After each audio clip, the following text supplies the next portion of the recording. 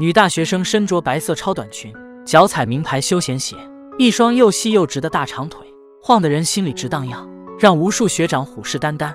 学妹刚入学第一天，大二历史系的赵坡就盯上了她，主动帮她扛起沉重的行李，爬了九百九十九级台阶，累得满身大汗也不在乎。送完正要走的时候，学妹追上了他，拿出纸巾给他擦汗，还给了他一百块钱辛苦费。面对学妹的好意，他没有拒绝。主动报出自己的名字和宿舍号，让学妹有事随时找他帮忙，他一定义不容辞。赵坡之所以这么上赶着，是因为他有两个农民工兄弟，他们觉得找女大学生当女朋友有面子，怂恿他也这么干。赵坡为了面子盯上了肤白貌美的学妹，本以为要隔上一段时间才能见到她，没想到这机会来得这么快。游泳课上，他因为怕水不敢跳，被同学李英杰一把推下去，差点淹死在游泳池里。为了给他赔罪，李英杰请他去喝咖啡。正好碰到学妹赵坡，家境贫困，没来过这种地方，不知道咖啡这么苦，喝了一口就喝不下去了。学妹主动替他解围，说柜台可以加糖，他整整放了两大包进去。想着善解人意的学妹，他脸上不自觉露出了甜蜜的笑容。好兄弟杜永庆又找上他，问他有没有找到女朋友。这不仅关系着赵坡的面子，也代表着他的面子。有一个女大学生做女朋友，对他们来说是一件非常值得炫耀的事。赵坡想到了学妹。来到图书馆跟他偶遇，看到他在找书，不敢直接上前，来到他对面拿走几本书，假装跟他偶遇，约他一起去看电影。但学妹以已经看过，唯有委婉的拒绝了他。赵坡非常难过，但杜永清的话还在耳边回响。他想起了那天喝咖啡回来的时候，路过的发廊店里面有个女孩特别漂亮，长得就像大学生。他来到门口，看着她去便利店买东西，迟迟不敢上前搭话。还是甘秀注意到了他，邀请他去店里洗头。刮胡子的时候，俩人的距离非常近，他可以看清他脸上的绒毛，闻到他身上的味道，暧昧的气氛在他们身边萦绕。他顺势邀请他出去约会。第二天，甘秀打扮得十分清纯动人，活生生就是一个女大学生的样。他带着她去了喝咖啡，问起她的家庭情况，劝她也去考个大学。但甘秀家里有个智障的弟弟，他是家里唯一的支柱。这时，屋外升起了孔明灯，赵坡也顺势邀请他一起去放，许下了自己的心愿。所有的一切都刚刚好，没几天，好兄弟又找上了他，让他赶紧找女大学生谈恋爱。他只能借口谎称已经找到，过几天就带他来见他们。但甘秀是个诚实的人，直接戳破了这个谎言。男人透过破碎的窗户向屋内看去，竟看到好兄弟把魔爪伸向了自己的女朋友。雨声和女友惨烈的喊叫声交织在一起，他在原地愣了几秒，非但没有进去进屋救人，而是转身就跑。即便不断传来的求救声让他停下了脚步。但懦弱的他始终不敢回去，唯有蹲下身，双手抱头，静静等着一切过去。直到雨停了，他才敢回去。看到好兄弟赤身在门口抽着烟，还对他笑容相向，他忍着怒气径直掠过他们，找到满身狼狈的甘秀，拉着他想带他走，结果被拒绝了。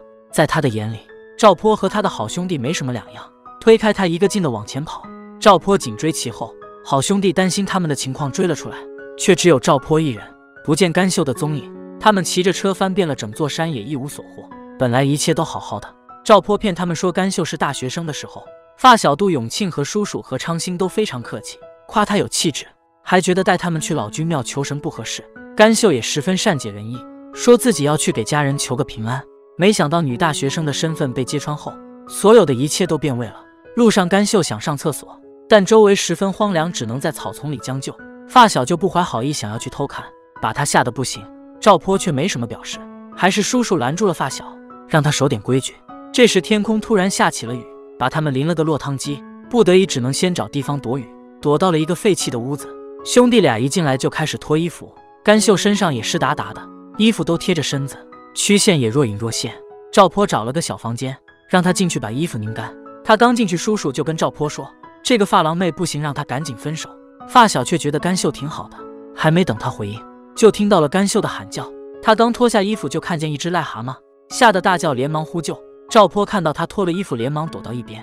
这时发小气哄让他们大胆追爱，他解释说是开玩笑，让他别太在意。看甘秀浑身都湿透了，怕他冻感冒。赵坡去找干柴烧火，想着先把衣服烤干，在屋里找了一圈都没看到，只好跑出去外面找。发小见赵坡走了，开始动坏心思，跟叔叔对视一眼，看向屋里的甘秀，而赵坡还在找干柴。雨太大，把木柴都淋湿了，湿木柴根本点不着火。发小见他这么久没回来，又看向甘秀，借口要去上厕所，进了里屋。自顾自开始解裤子。而赵坡那边好不容易找着木材了，正准备回来，下楼梯的时候脚突然打滑，滚了下去，倒在了水坑里。等他醒来回去的时候，隐隐约约听到了叫喊声，发现他们正在侵犯甘秀。男人推门走进房间，看到的竟是被凌辱的女朋友。惊魂未定的他被吓了一大跳，瑟瑟发抖的问：“李瑶们？”看着甘秀弱小无助的样子，又想起刚才两位兄弟的禽兽行为，赵坡十分心疼，朝女友伸出手想带她离开。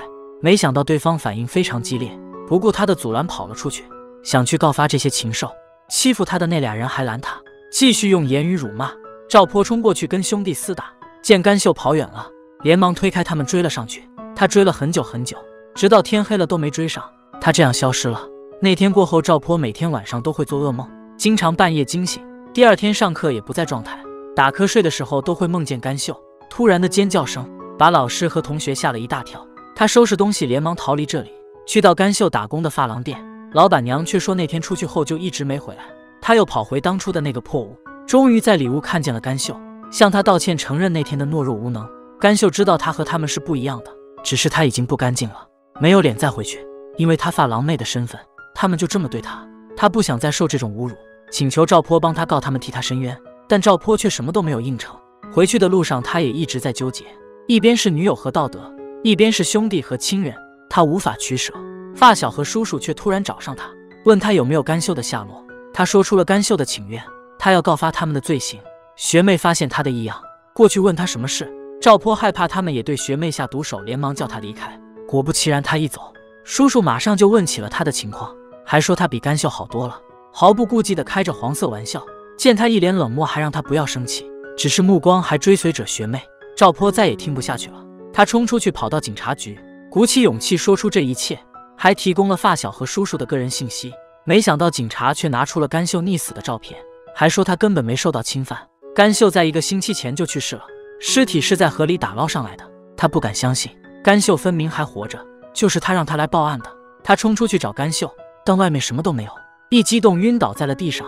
医生检查出来他是小时候受过创伤，原来母亲就是和发廊妹，为了供他上学不得不出卖自己。父亲觉得丢脸，一气之下把他推进河里淹死了，而他也被打晕过去。从那以后，他就有了心理阴影。那天其实叔叔和发小没对他做什么，只是用调戏了他一番，逗逗他，跟他开了玩笑。没想到赵坡一回来就说甘秀不要脸，还打了他一巴掌。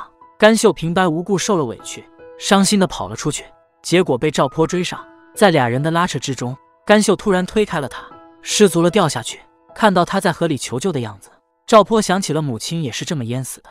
他的记忆又回到了那天，被父亲一棍子敲晕，倒在了地上。甘秀也就这样失去了生命。